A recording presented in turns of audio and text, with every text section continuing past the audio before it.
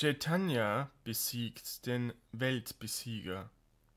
Chaitanya Bhagavata Adikanda 11 Mat Ausgabe 1.13 Prabhu schwelgte im Rasa des weltlichen Wissens. Zu dieser Zeit kam ein Gelehrter nach Navadvip, der von Ort zu Ort zog und der von jedem, den er in Disputationen besiegt hatte, eine Unterschrift erhielt. Er verehrte ausschließlich die Saraswati, murmelte ihren Mantra und macht die Saraswati gefügig. Saraswati ist eine andere Form der Rama, Lakshmi, die ihrem Wesen nach Vishnu Bhakti ist und an Vishnus Brust ruht. Seinem guten Glück war es zu verdanken, dass sie ihm ihren Anblick gewährte und ihm die Gnade gab, ein weltbesiegender Gelehrter zu werden. Fußnote 363 Noch vor wenigen Jahren wurde in Indien das Schuljahr im Herbst jeweils mit einer Feier zu Ehren Saraswatis, der Göttin des Wissens, begonnen. Mit einem bloßen Blickstrahl kann Saraswati Bhakti geben. Was bedeutet es ihr schon, jemanden die Gnade zu verleihen, ein weltbesiegender Gelehrter zu werden?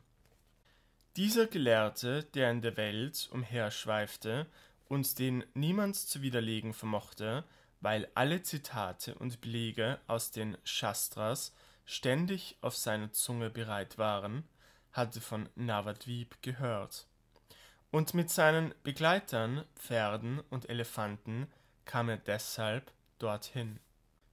Und die Gelehrten von Navadvip waren in großer Furcht, dass nun das Ende ihres Ruhmes gekommen sei. Es hatte sich ja bereits herumgesprochen, dass Saraswati ihm ihre Gabe verliehen hatte. Die Schüler bringen die Nachricht zu Gaurachandra. Dieser sagt lachend, Gott duldet keinen Stolz. Wenn jemand auf irgendetwas stolz ist, dann zerstört Gott es sicherlich.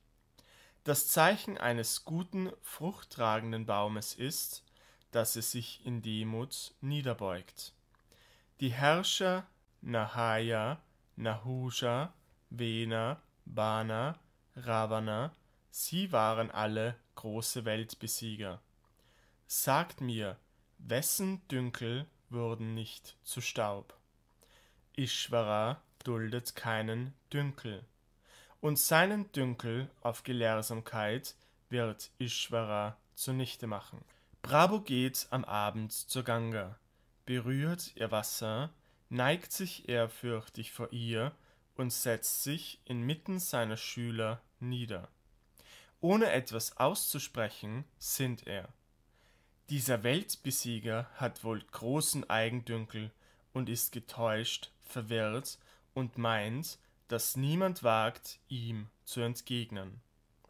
Wenn ich ihn hier vor allen Leuten besiege, da wird er wie tot sein, und die Menschen werden den Brahmanen als solchen die ganze Kaste gering zu schätzen beginnen. Ich muss ihn besiegen, doch so, dass sein Dünkel vergeht ohne dass er allzu viel Leid erfährt, das heißt einsam mit ihm. Während Gott der Herr so dachte, kam der Besieger der Welt, Digvijay, es war bereits die Nacht, angebrochen. Lauteres Mondlicht überflutet die Ganga, an deren Ufer er im Kreise seiner Jünger sitzt. Ein bezauberndes Bild. Er erklärt und macht mit Logik Nein zu Ja und Ja zu Nein. Der Weltbesieger sieht ihn und bewundert das Bild von ferne. Er fragt die Schüler, wer das ist. Sie sagen ihm Nimai Pandit. Der Weltbesieger grüßt die Ganga und schließt sich der Gruppe an. Prabhu lächelt ein wenig, begrüßt ihn und heißt ihn niederzusetzen. Der Digvijay war von Natur aus furchtlos. Doch als er ihn sah, füllte sich sein Herz mit furchtgemischter Ehrerbietung. Das ist die natürliche Folge der Ishvara eigenen Kraft, dass sein bloßer Anblick mit Ehrfurcht erfüllt. Prabhu bittet ihn, zur Sündenbefreiung aller Anwesenden von der Ganga zu sprechen. Der Weltbesieger spricht fließend, schnell, voll tiefem Sinn und reicher Sprache, ist doch Saraswati auf seiner Zunge. Alle Schüler Chaitanyas sind erstaunt, dass von menschlicher Zunge solche Dinge kommen können. Als der Digvijay eine Pause macht, sagte Prabhu lachend, ihn preisend. Nur du selbst verstehst den Sinn deiner Worte. Da wäre es gut, wenn du jedes deiner Worte uns den Grund ihres Gebrauches erklären wolltest. Der Digvijay fängt an, jedes Wort zu erklären. Und jede einzelne Erklärung wird von Prabhu widerlegt und zerstückelt. Der große Digvijay kann plötzlich nicht antworten. Nichts als ein paar Worte stammelt er, die sofort von Gauranga widerlegt werden.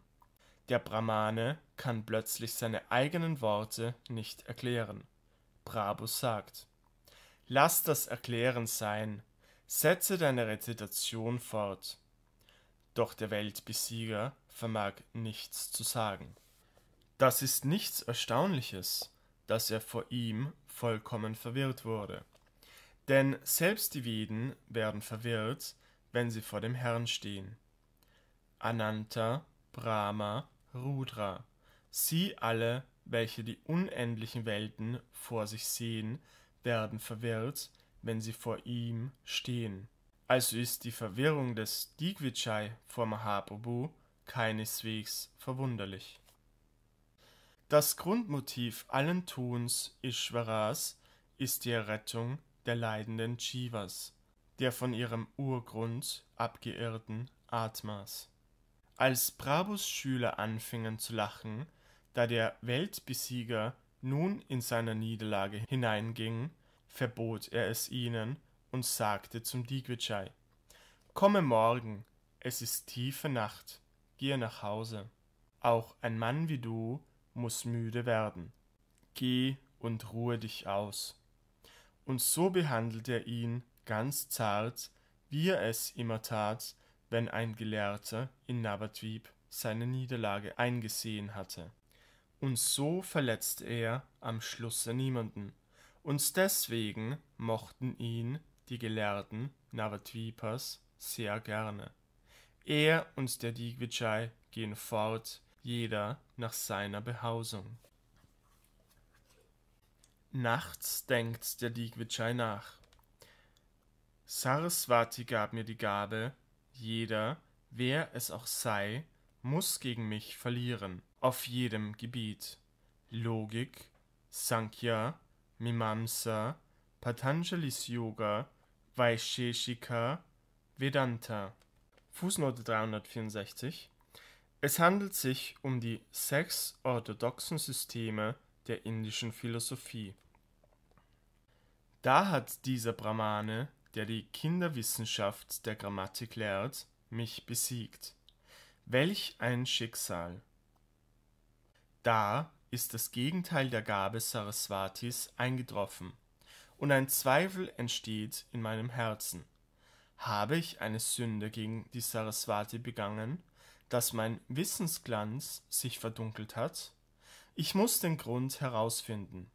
Er murmelte seinen Saraswati-Mantra und fiel endlich traurig in Schlaf. Da erscheint dem Brahmanen im Traum die Saraswati und spricht zu ihm von einem großen Geheimnis. Vernimm, o Brahmane, etwas, was selbst in den Veden verborgen ist, und sage es niemanden, da sich ansonst dein Lebensalter verkürzt. Du hast deine Niederlage vom Herrn aller Universen erhalten. Ich selbst bin Dienerin seiner Lotusfüße und halte mich schamvoll außerhalb seines Blickfelds auf. So wie es Brahma zu Narada im Bhagavatam 2.5.13 sagt, sie, welche die Wesen betört, so dass sie von mein und ich reden, steht in Scham fern vom Blickfeld Bhagavans. Was kann ich tun in Gegenwart Bhagavans? Kann ich nicht auf deiner Zunge sein? Das ist nicht nur mit mir so, sogar Anantashesha, Bhagavan, der Tausendhäuptige, wird verwirrt, wenn er vor ihm steht. Und doch preisen Brahma und Rudra ihn, den Unendlichen. Er, das höchste Brahman, ist ewig lauter, Chit, allüberall, die Fülle, und er ist als Paramatma in allen Herzen. Alles Karma, Gyan, Wissen, das Heilvolle und Unheilvolle, die Folgen des Tuns und Denkens, die in diesem Leben sich auswirken, und das, was sich erst später auswirken wird, alles stammt von ihm und wird von ihm aufgelöst. Fußnote 365 Leseart der Ausgabe des Gaudiya Mat. Und eben er ist es, den du in Gestalt des Brahmanen Nimai heute vor dir sahst.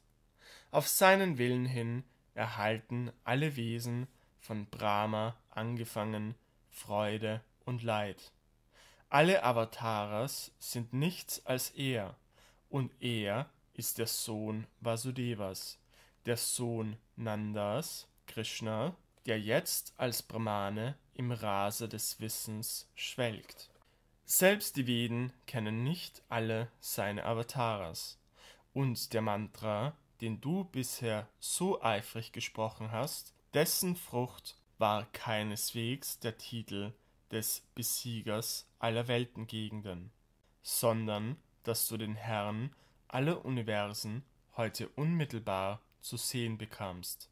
Also geh schnell zu ihm hin und übergib dein ganzes Wesen den Lotusen seiner Füße.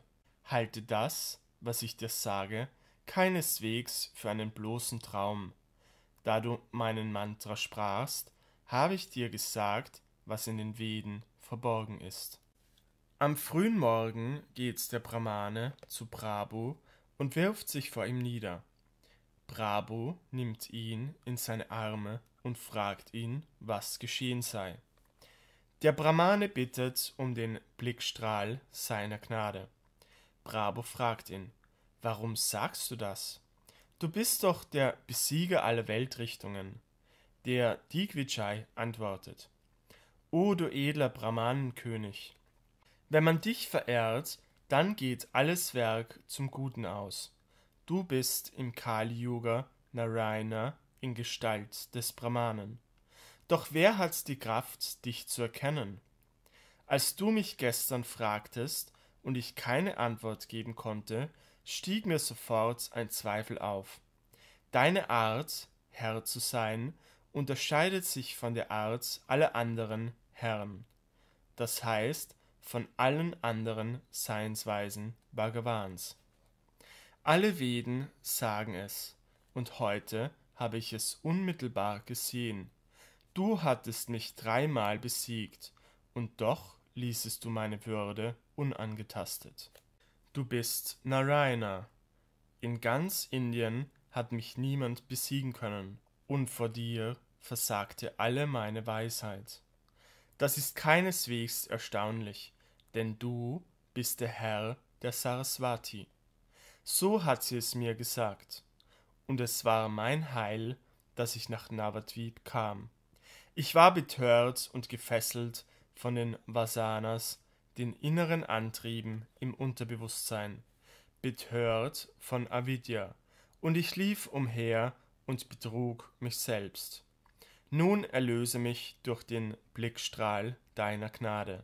Es ist dein Wesen, anderen Gutes zu erweisen. Gib mir Unterweisung, damit nicht wieder schlechte, unbewusste Antriebe entstehen. Bravo zu ihm. Vernimm, o Brahmane, du bist wirklich glücklich, denn Saraswati spricht durch deinen Mund. Ich will die Gelehrten der ganzen Welt besiegen. Das ist nicht Zweck und Ziel des Wissens, sondern echtes Wissen ist dienende, erkennende, liebende Verehrung Gottes. Und vergiss nicht, wenn die Zeit kommt, den Leib zu verlassen, da gehen weder Reichtum noch andere Dinge mit. Deshalb haben die Großen alles aufgegeben und widmen sich mit starker Entschlusskraft der Seva, dem Dienste Ishvaras. Gib also den Unsinn auf, der größte aller Gelehrten sein zu wollen, und widme dich der Verehrung der Lotusse der Füße Krishnas. Tue es sofort, nicht erst, wenn der Tod vor der Tür steht. Die wahre Frucht des Wissens ist die Hinwendung des Denkens, der Sinne und allen Strebens zu den Füßen Krishnas. Das ist die große Unterweisung an dich. Das einzig wahre in endloser Wandelwelt ist Vishnu Bhakti. Mahaprabhu umarmte ihn, und zugleich wurde er frei von allen Bindungen und Fesseln. Er erhielt die Anweisung, gib allen Stolz auf, geh, tue Verehrung Krishnas und sei gütig zu allen Wesen. Doch von dem, was Saraswati dir sagte, darfst du niemanden berichten. Es würde ein schnelles Ende deines Lebens bedeuten und dir Unheil im nächsten Leben bringen. Der Brahmane warf sich vor ihm nieder. Auf Prabhus Wunsch war von diesem Augenblick an Bhakti in seinem Leibe und Entsagung, das heißt farblos werden der Sinnendinge und auch unmittelbare Erfahrung des Gehörten, das heißt des Unvergänglichen. Nichts blieb mehr von Stolz übrig. Er gab alles auf. Elefanten, Reichtum und die Schar der Begleiter. Allein ging er seines Wegs. Mahaprabhus Gnade verursachte, dass er die königliche Straße verließ und ein Bettler wurde, so wie später Chaitanyas Schüler, der Birkas, Rupa Goswami, das Wohnen im Palaste aufgab und im Walde lebte. Alles, was man in dieser Welt begehren könnte, gibt derjenige auf, der Krishnas Diener wird. Königlicher Luxus scheint Freude zu sein, solange man die Größe der Freude der Bhakti nicht kennt. Nicht nur königliches Glück erscheint dem Diener Krishnas ganz gering. Selbst das Glück des Freiwerdens des Atma bedeutet ihm nichts mehr. Doch kann solche Erkenntnis nur durch Bhagawans Gnadenblick entstehen. Und deswegen sprechen alle Veden von der dienenden Verehrung Ishvaras.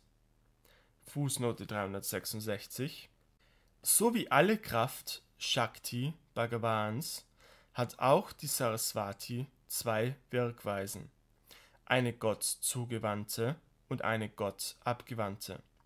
In ihrem gotteszugewandten Aspekt ist die Saraswati ungetrennt von Gott und die Geberin der Kraft, göttliche Weisheit, in Worte auszudrücken. Und das ist der wahre Sinn ihrer Verehrung. Der Pandit aber wollte früher durch ihre Verehrung weltliche, gottlose Gelehrsamkeit im höchsten Grade erreichen. Er bekam, was er erbat. Doch das ist nicht ihre wahre Gnade. Echte Saraswati-Verehrung ist Bitte um Gottes Weisheit, um Bhakti, nicht um weltliches Wissen. Sobald Gott Gnade schenken will, enthüllt die Saraswati die Gott zugewandte Weise ihres Wesens als lautere Saraswati und spricht durch den Mund des Betreffenden.